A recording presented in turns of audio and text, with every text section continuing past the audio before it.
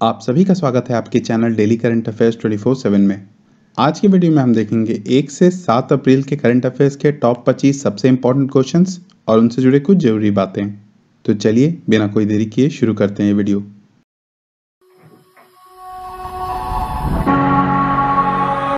पहला क्वेश्चन है which union territory government has launched a 5T action plan to combat covid 19 तो corona virus महामारी का मुकाबला करने के लिए किस केंद्र शासित प्रदेश सरकार ने एक पाँच टी कार्य योजना शुरू की है? तो इसका सही आंसर है ऑप्शन बी, दिल्ली। अरविंद केजरीवाल की नेतृत्व वाली जो दिल्ली सरकार है, इन्होंने कोरोना वायरस के प्रसार को रोकने के लिए एक पाँच सूत्रीय कार्य योजना शुरू की है। इस पाँचों टी में जो पहला टी है वो है ट्रेसिंग, जिसमें सरकार ये ग्राफ बनाएगी कि कोरोना वायरस किस तेज़ी से बढ़ रहा है और आगे कितने मामले देखे जा सकते हैं।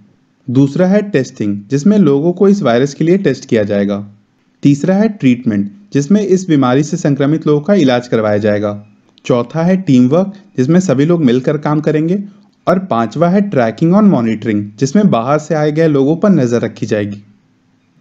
दूसरा क्वेश्चन है, the Tokyo Olympics 2020 has been postpone to dash 2021 तो जैसा कि हम जानते हैं कि इस साल जो टोक्यो ओलंपिक्स होने वाला था, इसको अब अगले साल तक के लिए टाल दिया गया है। तो ये अगले साल किस महीने में शुरू होगा? तो इसका सही आंसर है ऑप्शन सी, जुलाई। चल रहे कोरोना वायरस महामारी के चलते इस साल होने वाला टोक्यो ओलंपिक्स अब अगले साल 23 जुलाई से 8 अगस्त के बीच आयोजित किया जाएगा।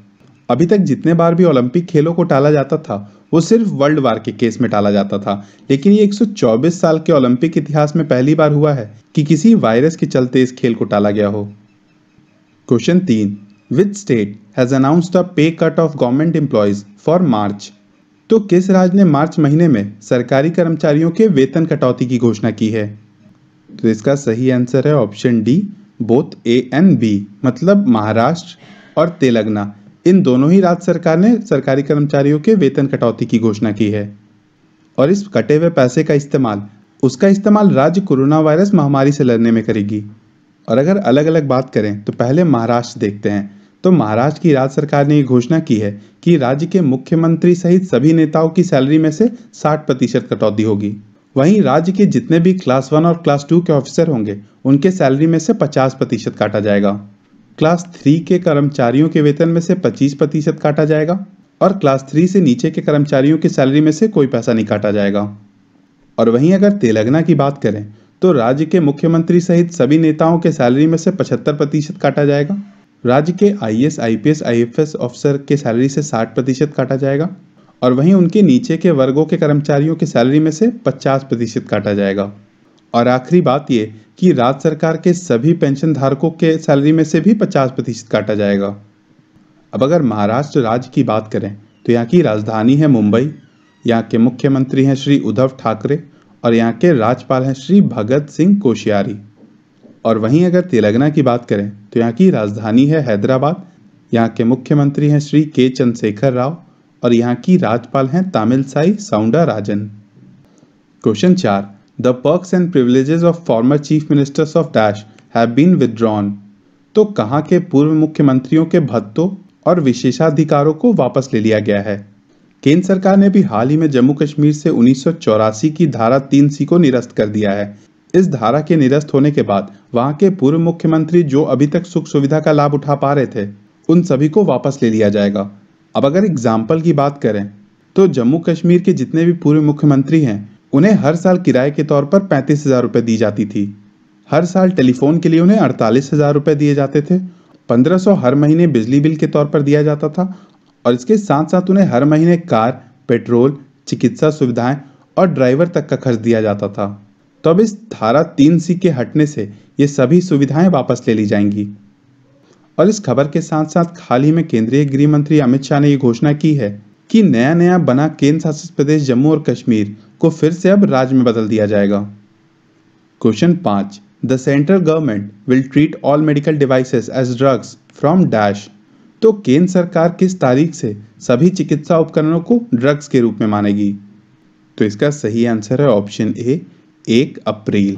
एक अप्रैल से जितने भी चिकित्सा उपकरण होंगे, वो ड्रग्स की श्रेणियों में आएँगे। अब अगर बात करें कि ऐसा क्यों किया गया तो भारत में जितने भी दवाइयाँ बनते हैं, उन सभी को टेस्टिंग के बहुत सारे स्टेजों से गुजरना पड़ता है। लेकिन जितने भी चिकित्सा उपकरण होते हैं, जैसे कि सिरिंज हो गए, थर्मोमीटर हो गए, सीटी स्कैन के मशीन हो गए, ये सब बहुत सारे दुकान बिना लाइसेंस के भी बेच सकते हैं। और इसी के चलते इन्हें बनाने वाले इसकी क्वालिटी पर कोई खासा ध्यान नहीं देते। अब बात यह है कि इनकी क्वालिटी में खराबी की वजह से भी तो लोगों की जान जा सकती है। तो इसलिए अब भारत सरकार ने ये घोषणा की है कि इन सब उपकरणों को भी अब ड्रग्स की तरह ट्रीट किया जाएगा। मतलब अगर कोई बेचेगा तो उसके पास भी ड्रग्स वाला लाइसेंस होना चाहिए। और अब इन उपकरणों को बेचने से पहले भी टेस्टिंग के बहुत सारे स्टेजों से गुजरना होगा। इससे सबसे बड़ा फ़ायदा ये होगा कि उपकरण की खराबी या खराब क्वालिटी के चलते किसी भी मरीज़ की मृत्यु नहीं होगी। क्वेश्चन छः T has launch Pranavayu a low cost portable ventilator तो किस आईआईटी ने कम लागत वाले पोर्टेबल वेंटिलेटर प्राण वायु को लॉन्च किया है? तो पहले तो बात है कि क्या है ये वेंटिलेटर तो ये वेंटिलेटर हॉस्पिटलों में इस्तेमाल किए जाने वाला एक ऐसा उपकरण है, जो मरीजों को सांस लेने में मदद करता है। मतलब इस मशीन का इस्तेमाल उन पेशेंटों पे किया जाता है जिन्हें सांस लेने में तकलीफ़ होती है। चूँकि चल रहे कोरोना वायरस महामारी में जो सबसे बड़ी दिक्कत आती है मरीजों में वो है सांस लेने में तकलीफ़। तो इसलिए इस मशीन की मांग बहुत बढ़ गई है।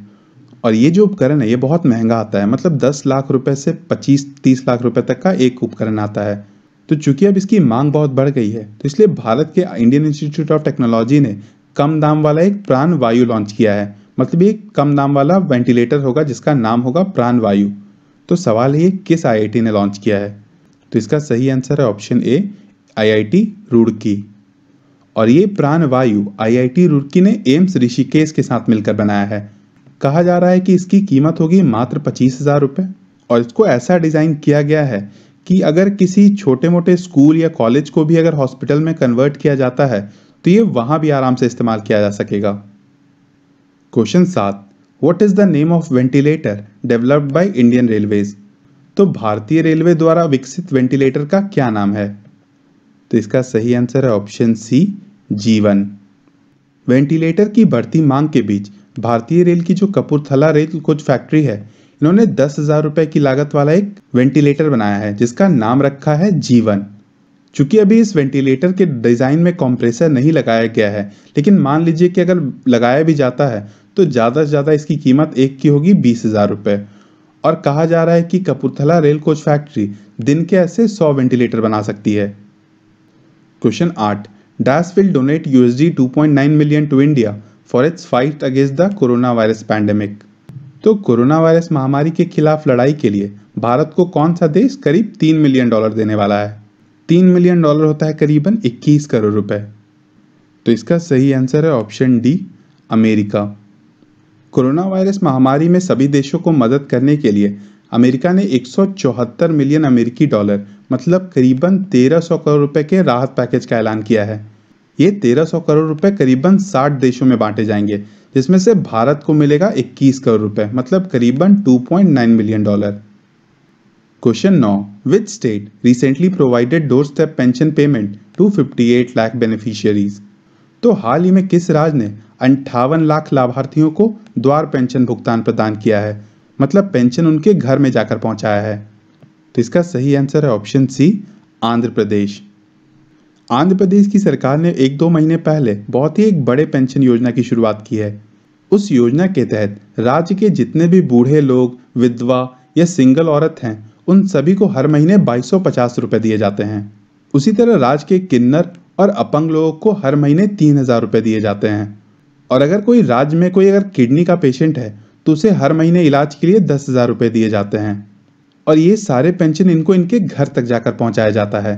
तो अभी हाल ही में आंध्र प्रदेश की सरकार ने करीब अंठावन लाख चौवालीस हज़ार लोगों को ये पेंशन उनके घर में जाकर पहुँचाया है। इस काम को अंजाम देने के लिए करीब ढाई लाख वॉलंटियरों को मोबाइल फ़ोन दी गई और टेक्नोलॉजी की मदद से इन्होंने लोगों के घरों तक जाकर पेंशन पहुँचाया।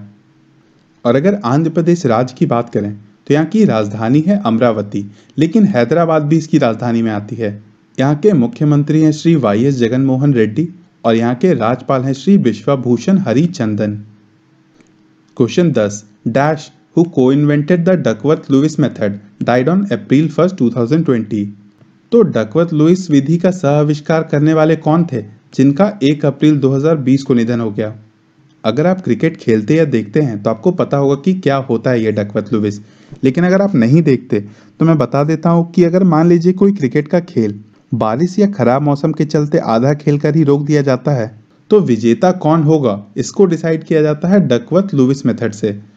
तो इसके जो स आविष्कारक थे टोनी लुविस इनका अभी एक अप्रैल को निधन हो गया है।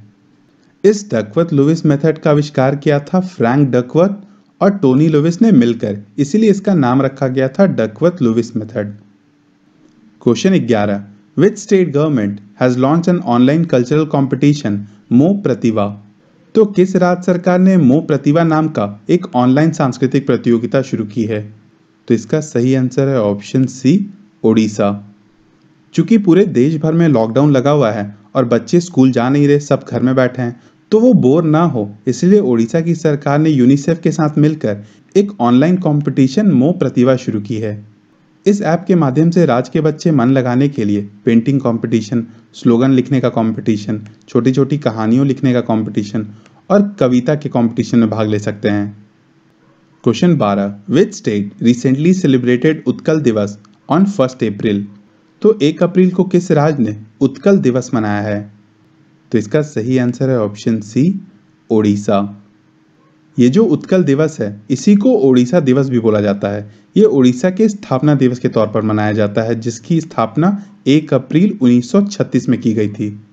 और ये उत्कल दिवस ना सिर्फ़ ओडिशा, बल्कि उन सभी शहरों और गाँवों में मनाया जाता है, जहाँ ओडिशा के लोग बसते हैं। अब बार बार उड़ीसा का ज़िक्र हो रहा है तो देख लेते हैं ये जो उड़ीसा है, यहाँ की राजधानी है भुवनेश्वर। यहाँ के मुख्यमंत्री हैं श्री नवीन पटनायक और यहाँ के राज्यपाल हैं श्री गणेशी लाल। क्वेश्चन तेरह। RBI announce the merger of ten state run banks into four lenders from on dash तो आरबीआई ने किस यहाँ मैंने आंसर लिख दिया है। तो आप देख सकते हैं आरबीआई ने एक अप्रैल से दस से राज्य संचालित बैंकों को अब चार बैंकों में तब्दील कर दिया है। मतलब अब Punjab National Bank, United Bank और ओरिएंटल बैंक ऑफ़ कॉमर्स जुड़ जाएँगे और इनका नाम रह जाएगा पंजाब नेशनल बैंक। वहीं यूनियन बैंक, आंध्रा बैंक और कॉरपोरेशन बैंक एक हो जाएँगे और नाम रह जाएगा यूनियन बैंक ऑफ़ इंडिया। फिर इंडियन बैंक और इलाहाबाद बैंक एक हो जाएँगे और नाम होगा इंडियन बैंक।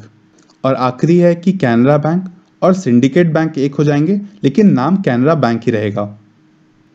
क्वेश्चन चौदह which bank has recently launch banking services on WhatsApp तो हाल ही में किस बैंक ने व्हाट्सएप पर बैंकिंग सेवाएँ शुरू की है?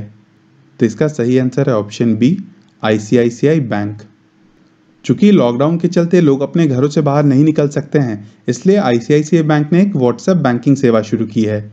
जिन किसी का भी आईसीआईसीआई बैंक में सेविंग अकाउंट है, वो तो आराम से व्हाट्सएप से इस सेवाओं का लाभ उठा सकते हैं। जिस आदमी का आईसीआईसीआई बैंक से सिर्फ़ क्रेडिट कार्ड है, वो इस सेवा का इस्तेमाल करके अपने कार्ड को ब्लॉक या फिर अनब्लॉक कर सकते हैं। और जिस आदमी के पास आईसीआई बैंक का अकाउंट है ही नहीं, वो इस व्हाट्सएप बैंकिंग के थ्रू ये देख सकते हैं कि उनके नज़दीकी आईसीआईसीआई बैंक का एटीएम और ब्रांच कहाँ पे स्थित है। क्वेश्चन पंद्रह।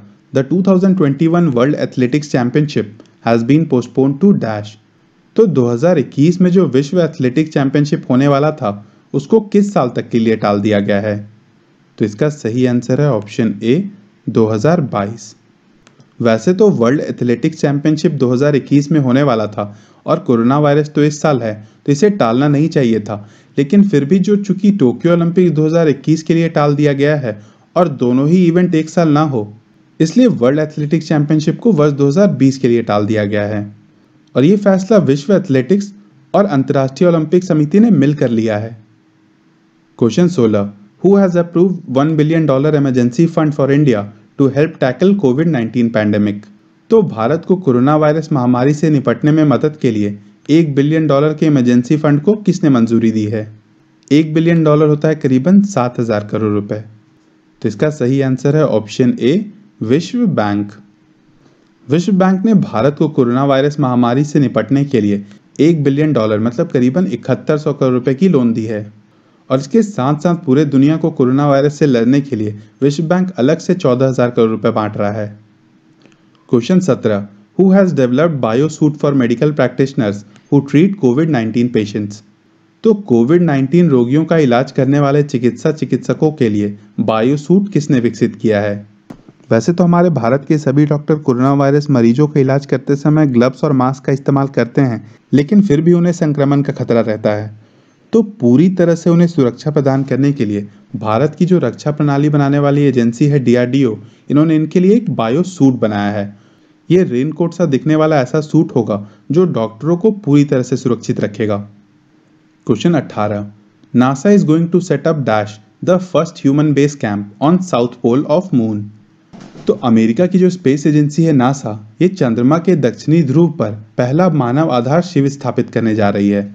तो बात है कि इसका क्या नाम होगा? तो इसका सही आंसर है ऑप्शन ए, आर्टेमिस। अमेरिका की जो स्पेस एजेंसी है नासा, ये वर्ष 2024 तक अंतरिक्ष यात्रियों को चाँद पर भेजने की योजना बना रही है। और इसी के लिए ये चाँद के दक्षिणी क्षेत्र में एक बेस कैंप बनाएगी और उस बेस कैंप का नाम होगा आर्टेमिस। ये बेस कैंप एक छोटा घर जैसा ही होगा, जो अंतरिक्ष यात्री वहाँ रहने और अपने प्रयोग के लिए इस्तेमाल करेंगे। Question 19 when was the international day for mine awareness observe recently तो हाल ही में खान जागरूकता के लिए अंतर्राष्ट्रीय दिवस कब मनाया गया था? तो इसका सही आंसर है ऑप्शन सी, चार अप्रैल। 2005 की लैंडमाइन मॉनिटर रिपोर्ट के अनुसार चौरासी ऐसे देश हैं जहाँ लैंडमाइन लगे हुए हैं और उनका पता भी नहीं है किसी को। और इसके चलते हर साल करीब पंद्रह हज़ार से बीस हज़ार लोग इस पर चढ़ने के चलते अपनी जान गंवा देते हैं। तो इसी दिक्कत के चलते यूनाइटेड नेशंस की जब जनरल असेंबली चल रही थी वर्ष 2005 में तो उन्होंने हर साल 4 अप्रैल को international day for mine awareness घोषित कर दिया। तब से मतलब वर्ष 2006 से हर साल 4 अप्रैल को मनाया जाता है। Question 20 which airlines operated India first cargo on seat flight तो भारत की पहली कार्गो ऑन सीट फ़्लाइट किस एयरलाइंस ने संचालित की? जनरली जो सामान ढोने वाले प्लेन होते हैं, वो अलग तरह से दिखते हैं और जो सामान होता है, वो अंदरूनी क्षेत्र में रखा जाता है। लेकिन पहली बार ऐसा भारत में हुआ है कि जो नॉर्मल आदमियों को ले जाने वाले प्लेन हैं, उसमें सामान भर कर लाया गया है और ये सामान सीटों पर रखा गया था और इसीलिए उन्हें कार्गो ऑन सीट फ़्लाइट कहा जा रहा है। तो भारत की जो सबसे पहली कार्गो ऑन सीट फ़्लाइट है, वो स्पाइस जेट ने संचालित की है। और ऐसा तब हुआ जब स्पाइस जेट की जो बीस सात सौ सैंतीस पैसेंजर एयरक्राफ्ट मतलब लोगों को ले जाने वाली जो प्लेन है, वो दिल्ली से चेन्नई दवाइयाँ लेकर जा रही थी। क्वेश्चन इक्कीस how much money will be credited in all women Jan Dhan Yojana accounts तो सभी महिलाओं के जनधन योजना खातों में कितने पैसे जमा करवाए जाएँगे? ये जो जनधन खाते होते हैं, वो केंद्र सरकार के द्वारा खुलवाए गए थे और इसमें कोई मिनिमम बैलेंस की आवश्यकता नहीं होती है। तो गरीब महिलाओं के ऐसे जनधन खातों में केंद्र सरकार के द्वारा पाँच पाँच सौ रुपये जमा करवाए जाएँगे। क्वेश्चन बाईस who launch India first corona virus hospitalisation insurance corona care तो भारत का पहला कोरोना वायरस हॉस्पिटलाइजेशन बीमा कोरोना केयर किसने शुरू किया है? तो इसका सही आंसर है ऑप्शन डी फ़ोन पे। बढ़ रहे कोरोना वायरस महामारी में जो भी व्यक्ति अगर कोरोना वायरस से संक्रमित पाया जाता है और अगर उसे इलाज के लिए हॉस्पिटल में भर्ती किया जाता है तो ठीक होने के बाद एक हॉस्पिटल का अच्छा खासा बिल ज़रूर बन जाता है। तो इसी दिक्कत का निवारण करने के लिए जो ऐप है फ़ोन पे, इन्होंने बजाज एलियान जनरल इंश्योरेंस के साथ मिलकर कोरोना केयर नाम का एक इंश्योरेंस पैकेज लॉन्च किया है। इसकी कीमत होगी सिर्फ़ एक सौ मतलब पचपन साल तक का कोई भी आदमी सिर्फ़ एक सौ में पचास हज़ार रुपये तक के इंश्योरेंस कवर ले सकता है। क्वेश्चन तेईस। How much money has been release to the states to deal with the corona virus epidemic तो कोरोना वायरस महामारी से निपटने के लिए राज्यों को कितना पैसा जारी किया गया है? तो इसका सही आंसर है ऑप्शन ए सत्रह हज़ार दो सौ सतासी करोड़ रुपए। क्वेश्चन चौबीस who has been appointed as the new chairman of NASSCOM तो नासकॉम के नए अध्यक्ष के रूप में किसे नियुक्त किया गया है? तो पहले तो बात है कि क्या है ये नासकॉम भारत की जितने भी बड़े और छोटे सॉफ्टवेयर कंपनी हैं, उन सभी का एक संगठन है, जिसे नासकॉम बोला जाता है। और इस नासकॉम का फुल फॉर्म हो गया National Association of Software and Services Company. इसका गठन हुआ था उन्नीस सौ अट्ठासी में और वर्तमान में इसका हेडक्वार्टर है नई दिल्ली में। तो इसी के नए अध्यक्ष के रूप में भी चुना गया है प्रवीण राव को। क्वेश्चन पच्चीस। गाइज़ ये चूँकि आखिरी क्वेश्चन है, इसका आंसर आपको कमेंट्स में देना है। तो ये क्वेश्चन है when is the World Health Day celebrated every year around the world तो विश्व स्वास्थ्य दिवस हर साल दुनिया भर में कब मनाया जाता है? तीन अप्रैल, पाँच अप्रैल छः अप्रैल या फिर सात अप्रैल? और गाइज़ अगर आप ये पीडीएफ डाउनलोड करेंगे तो आंसर आपको सबसे लास्ट पेज में मिलेगा। तो गाइज़ ये था हमारा आज का वीडियो आपको कैसा लगा प्लीज़ कमेंट बॉक्स में बताएँ। और अगर आपने सब्सक्राइब नहीं किया है मेरे चैनल को तो प्लीज़ सब्सक्राइब करें। और नोटिफिकेशन के लिए बेल आइकन दबाएँ। और अगर आप पीडीएफ डाउनलोड करना चाहते हैं तो लिंक डिस्क्रिप्शन में है। Thanks for watching